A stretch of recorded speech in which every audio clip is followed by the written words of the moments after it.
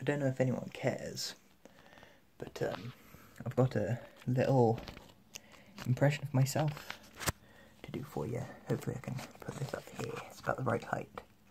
Oh, no, it's falling. Oh no. Oh no. Oh no. Stay where you are. No.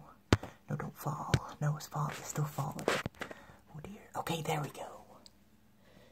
Ay caramba. That's barely on there. Anyway, my little impression of me, right?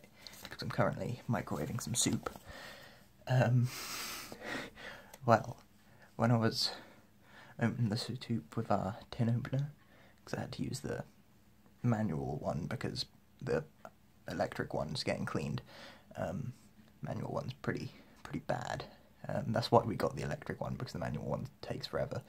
And I was just there like soup tin soup, soup potato soup, soup potato soup. Whilst I was doing it, and then I put it in the microwave pot, and then took it to the microwave. whilst going soup potato soup, soup potato soup, soup potato soup. Put it in the microwave, shut the thing, twisted it, going soup potato soup. Um, that's basically me when I'm cooking. I just chant or speak to myself and whatnot.